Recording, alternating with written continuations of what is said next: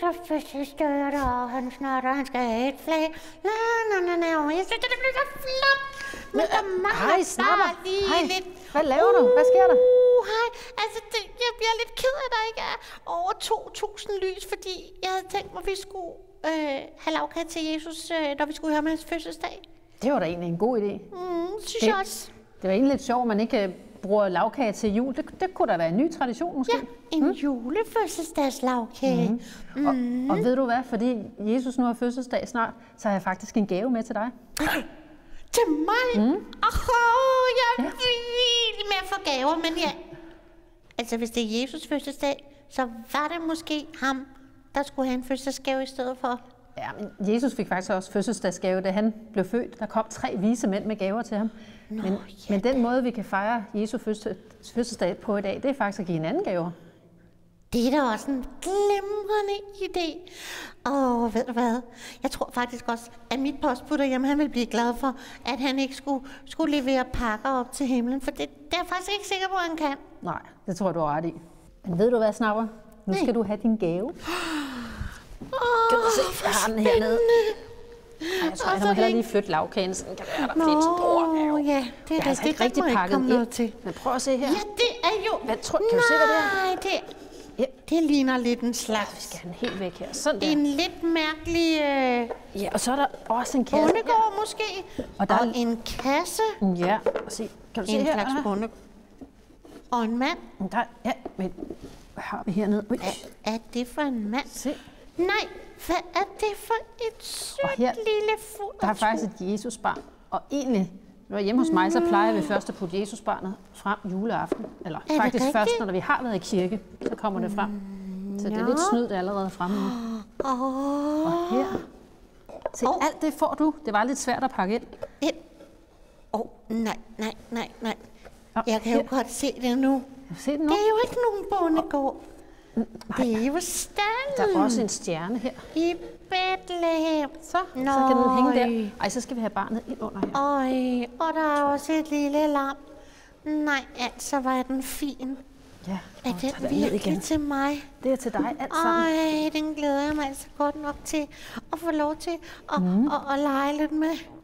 Men ved du hvad, jeg lige kom i tanke om? Nej. Altså det der, det er jo faktisk, det er jo faktisk noget til fortællingen om da Jesus blev født. Men jeg kan ikke helt huske historien faktisk. Nej, Kan, kan, kan du ikke lige uh, læse den for mig, eller fortælle mig den? det kan jeg godt. Jeg har faktisk jeg har Bibelen liggende, jeg har taget med her i Bibelhistorie, men jeg synes, skal vi lige tænde det fjerde lys først? Det tror jeg lige, jeg gør. Jo. Så skal jeg nok jeg fortælle havde historien bagefter. glemt, at det er fire søndag i advent, fordi jeg blev så optaget af at lave lavkage og få gaver.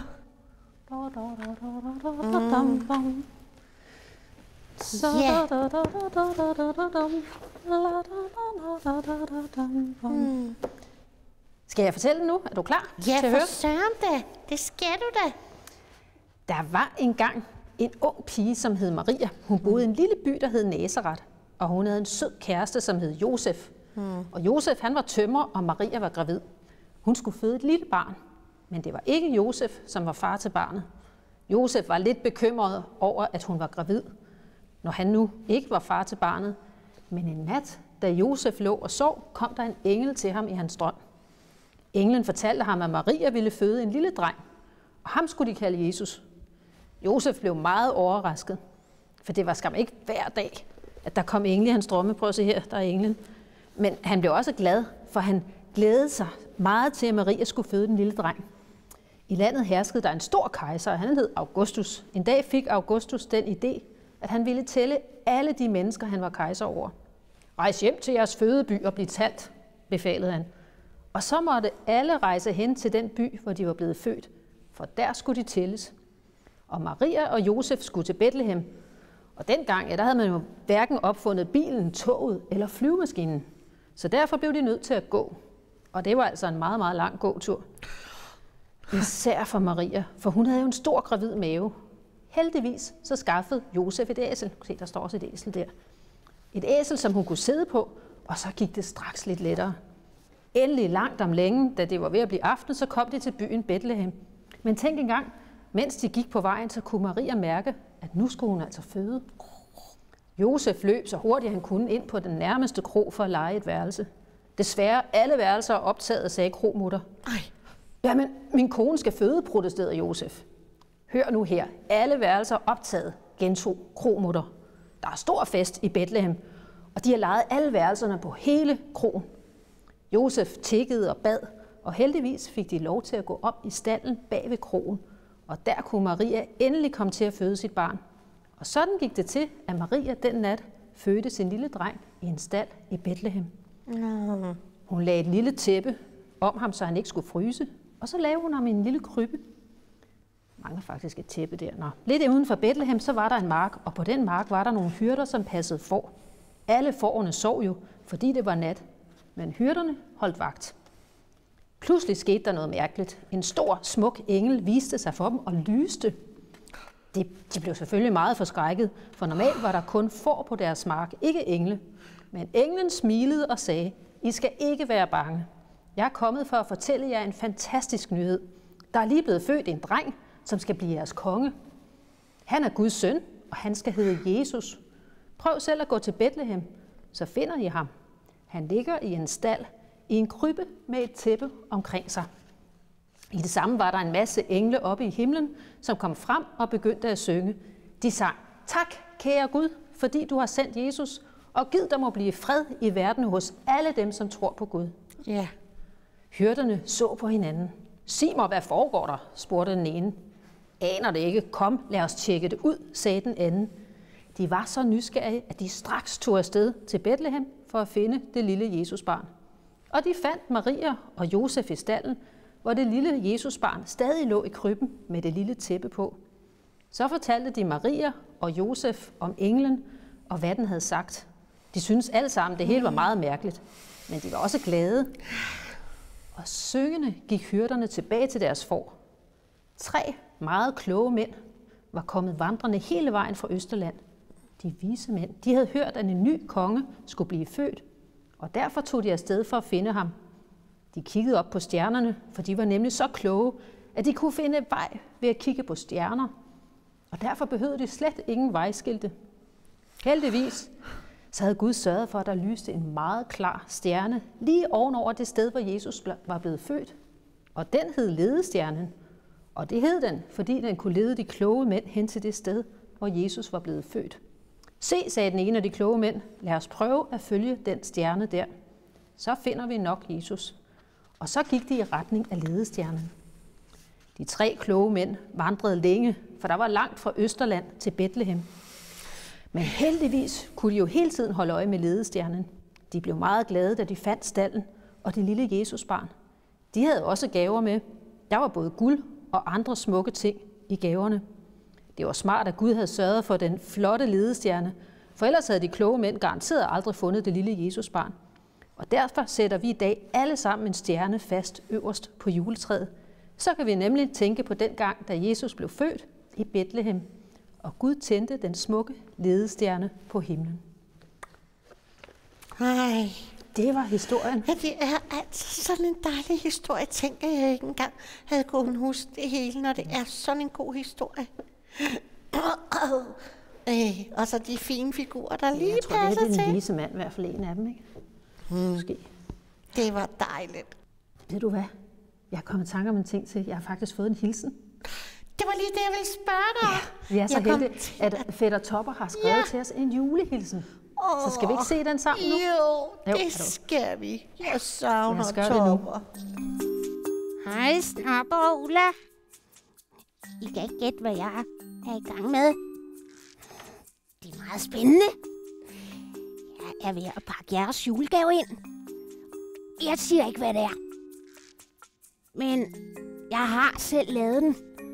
Og jeg håber, håber, håber altså sådan, at I bliver glade for den. Ja, jeg har selv lavet den. Ja, jeg er også spændt på at se, hvad jeg selv får i julegave. Jeg håber, at jeg får det nye videokamera, som jeg har ønsket mig. Ja, jeg ved godt, det er tanken, der tæller. Men jeg tror alligevel, jeg bliver lidt skuffet, hvis jeg ikke får det. Jeg vidste, hvordan andre børn har det med deres julegaver. Hvad der sker, hvis de ikke får det, som de har ønsket sig. Ja, Og, og hvad, hvad ønsker de sig egentlig til jul? Det kunne jeg da gå ud og spørge nogle børn om. Hvorfor giver man egentlig en anden julegaver til jul? Det er fordi, vi fejrer jo lidt Jesus. Det er på en måde hans fødselsdag. Men det er lidt svært at give Jesus gaver, når han er død. Og han fik mange gaver af disciple. De tre, så han fik guld og ædel. Og det er også lidt dyrt. Og så tænker jeg bare for at gøre hinanden glade. Ja, hvad ønsker du dig i julegave? Jeg ønsker mig en Lego-pakke, som der er sådan høj i det, sådan lidt høj. Så høj. Ja, sådan, og så er der sådan lidt, ude på pakken, sådan, lidt- sådan et stort tårn. Og så er der nogle Lego-mand rundt om, der flyver rundt om det. Åh, oh, sejt. Jeg ønsker mig en gliderutsjebane. tilbage. Jamen, jeg ønsker mig en telefon, fordi jeg ikke har fået nogen endnu. Og det vil jeg rigtig gerne have. Øhm, jeg ønsker mig en køjeseng, fordi jeg tænkte, det kunne egentlig være sjovt at ligge lidt højere over jorden. Men det har min mor sagt, at jeg ikke må få. Jeg er glad for det, jeg får, men ellers ønsker jeg mig rulleskøjter og walkie-talkier og neglelak og alt sådan noget. Ja. Øh, hvad ønsker en voksen sig i julegave? Han ønsker sig strømper og boxershorts og stegepande, og så ønsker han sig hjemmelavede ting fra sine børn. Men mig, hvad? hvad så, hvis du ikke får det? Altså lige det, du ønsker dig allermest. Det, det er sådan lidt okay med. Bare få nogle gaver, så er jeg okay. Jeg går... Ja, jeg bliver bare lidt skuffet. Sådan lidt... Jeg bliver sådan... Øh, jeg synes bare, det er lidt øvre, så venter jeg til næste år. Har du grædt? Ja. ja, det er altså ikke så nemt. Ja. Nå, du får det, du ønsker dig, det er jeg sikker på. Ja. Og, og hvad sker der egentlig, hvis du ikke får det? Så tænker jeg bare, når jeg har fået en masse andre gaver, så, så pyt med, at jeg ikke fik det allerbedste. Så vil jeg blive rigtig ked af det indeni, men jeg får jo noget andet i stedet for. Men så prøver jeg faktisk at skjule, at jeg bliver ked af det, fordi så dem, der har købt gaven til mig, eller dem, der måske ville købe gaven, de bliver måske lidt øh, ked af det, hvis de ser, at jeg er blevet ked af det, fordi jeg ikke fik det, jeg får. Hvem glæder du dig allermest til at give en gave til? Min mor og min far. For det synes jeg, det synes jeg er rarest på en eller anden måde. Ikke fordi jeg ikke kan lide de andre, at give de andre gaver. Men stadigvæk. Og sidste år, der gav jeg min far en kop og min mor et billede. Og det blev de rigtig glade for. Jeg glæder mig mest til at give en gave til... Jeg tror, at øh, min farmor, dem kan jeg godt lide at give til, og måske min mor og far, dem kan jeg også godt lide at give til. Øhm, min mor og far, øhm, jeg plejer selv at lave dem, og nogle gange så laver jeg dem også sammen med min søskende ude ved min mormor og morfar eller noget. Og det er jo de bedste gaver at få. Hvorfor kan du godt lide at give gaver? Fordi det er rart, man får sådan en rar fornemmelse, når de sådan siger tak, og de, man får bare varmt ind i, og det er bare rigtig dejligt. Hvem glæder du dig mest til at give en gave til? Til min farmor og farfar. Nå? Hvad, hvad, hvad giver du dem? Mm, nogle gange glemmer jeg det, men jeg har faktisk ikke... øhm, Jeg har faktisk ikke prøvet at give gaver sådan, så meget. Men jeg glæder mig. Jeg vil gerne prøve at give gaver til min farmor og farfar. Kære Ulla og Snapper, det var alt for denne gang. Glædelig pakketid og julelystid. Og nu er det endelig snart jul. Vi ses!